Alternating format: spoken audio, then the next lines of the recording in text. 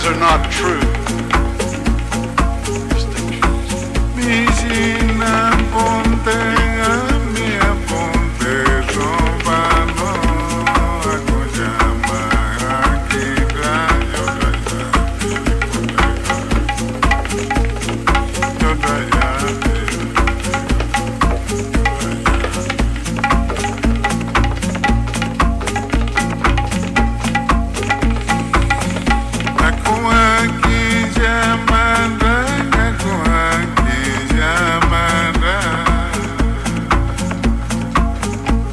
part of us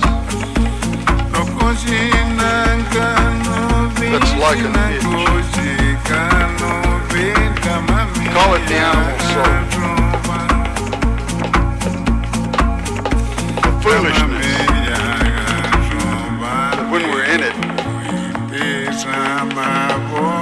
we make hundreds of others around us itchy.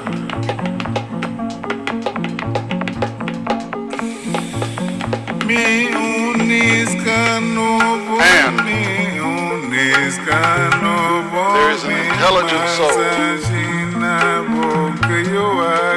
with another desire more like sweet basil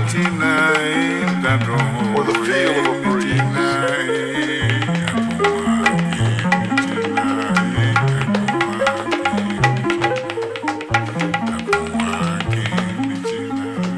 Listen and be thankful even for scolding that comes from the intelligent soul.